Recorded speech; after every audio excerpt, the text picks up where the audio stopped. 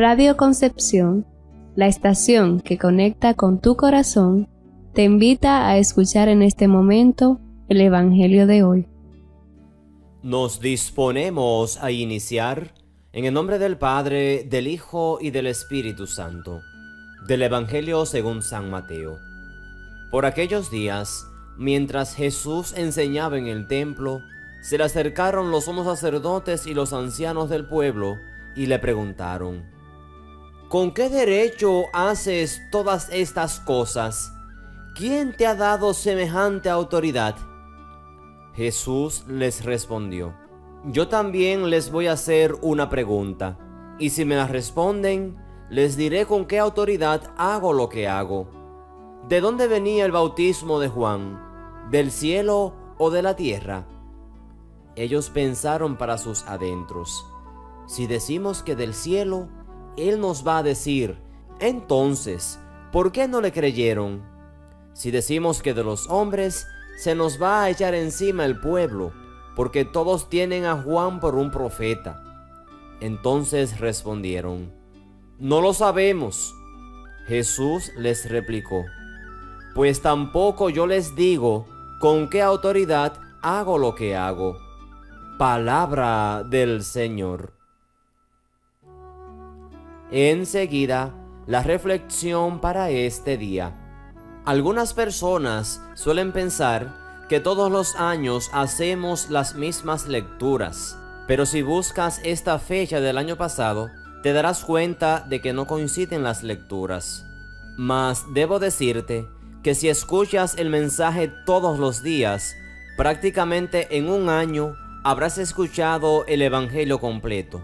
Y con el Evangelio me refiero a Mateo, Marcos, Lucas y Juan.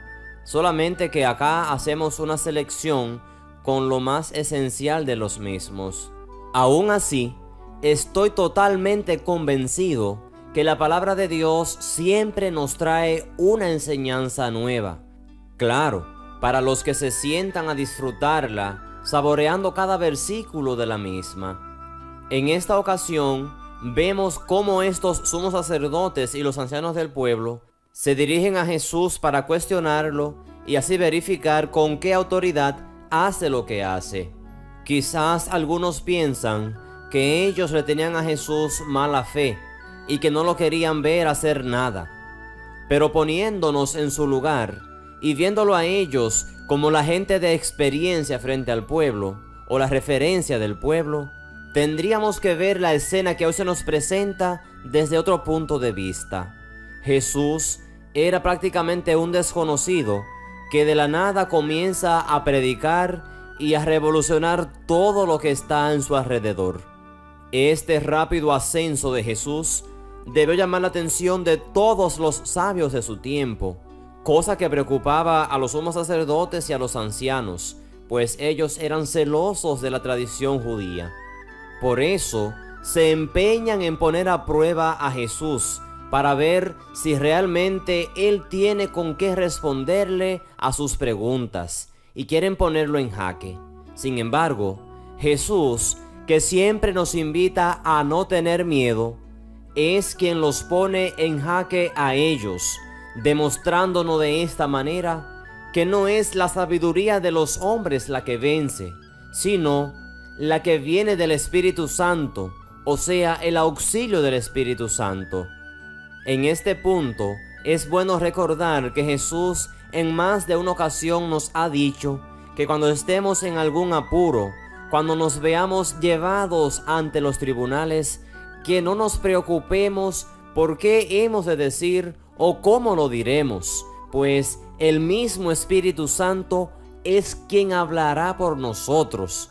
Por eso, ante las más graves situaciones, no debemos perder nunca la fe ni la esperanza.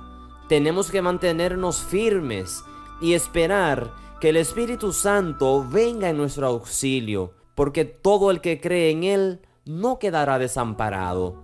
En conclusión, el que se deja guiar por el Espíritu Santo en todo momento nunca va a fracasar en cualquier plan o proyecto que inicie. Ten esto presente. En Radio Concepción la estación que conecta con tu corazón, hemos presentado el Evangelio de hoy.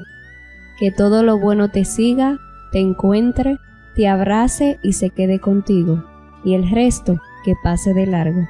Feliz día y que Dios te bendiga.